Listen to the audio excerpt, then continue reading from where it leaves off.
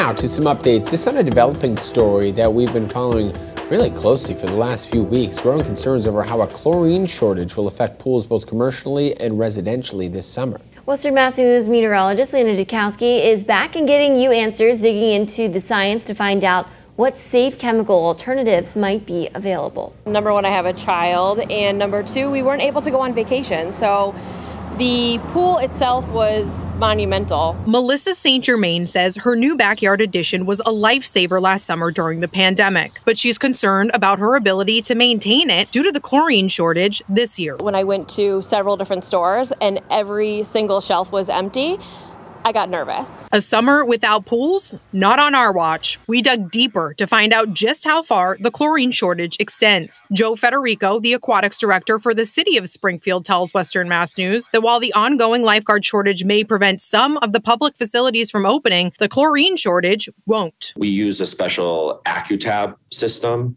uh, for commercial pools and I reached out to my supplier, and there is no shortage, so we're good to go there. Six Flags New England is also on track to open their water park Memorial Day weekend as previously scheduled. In a statement issued to Western Mass News, they share Our water park is slated to open May 29. Our suppliers have assured us that there is sufficient supply of liquid chlorine, which most of our water parks use. It turns out the shortage is only for residential chlorine tabs, not chlorine itself. And it's also not being caused by the pandemic. You're talking about a chlorine shortage that was caused by a plant that went offline because of Hurricane Laura. Professor Emeritus Michael Maroney taught chemistry at UMass Amherst for over three decades, and he's here to offer some alternate solutions. In a pinch, Maroney says that household bleach is a safe alternative. The only catch?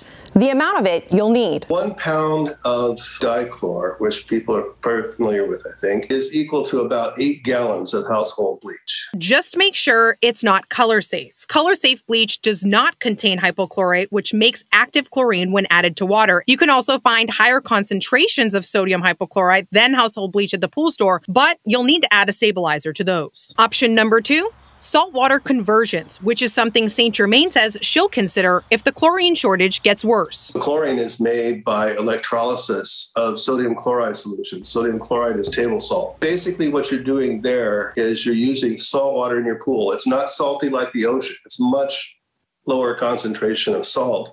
And then you're doing essentially what industry is doing to make chlorine, which is electrolyzing. The equipment for a saltwater conversion will cost you a couple thousand dollars. Another option? chlorine's neighbor on the periodic table. Bromine is very popular in spas and hot tubs because it works a little better at higher temperatures. It's not quite as reactive as chlorine, so the dosing will be different and, and things like that. But bromine is, a, a is an alternative it's usually more expensive than chlorine. For Western Mass News, I'm First Warning meteorologist Lena Jakowski.